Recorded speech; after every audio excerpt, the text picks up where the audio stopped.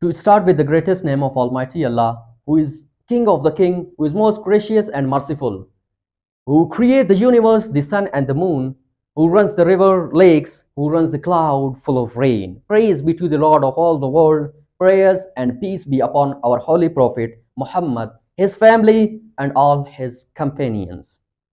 A great life, it doesn't happen by chance. It happens by design. Oh, it's not going to be easy to do today what so many people want to do. And I promise the future you will love you for it. You are being walking around the knockoff version of yourself. This is not the real you. It's time for you to manifest. The real you is breathing down your neck, begging you to manifest. Stop lying to yourself. Stop letting you down. You are not doing this for yourself in present day. You are doing for what you want later. And how many people do you think there are in this world right now that are making the choices that is going to create a future they don't want? You have an opportunity to create something different to change the script, to flip the switch. You have got to kill the blame game. Stop blaming it on the person that overlooked you. Stop blaming it on the person that walked out on you. Stop blaming everybody.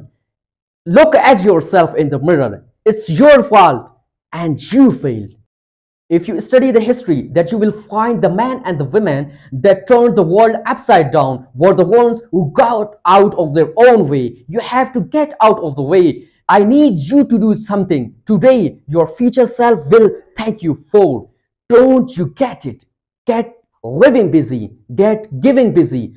All of you, give the best of you. Not for you right now, but for the you in the future. Please please do yourself a favor and dispense with the excuses that you are not good enough. Dispense with the excuse that you don't have time. Dispense with the excuse that nobody will show up if i build it. Too many people are better than me. Drop out of the eye. I didn't work. No you didn't work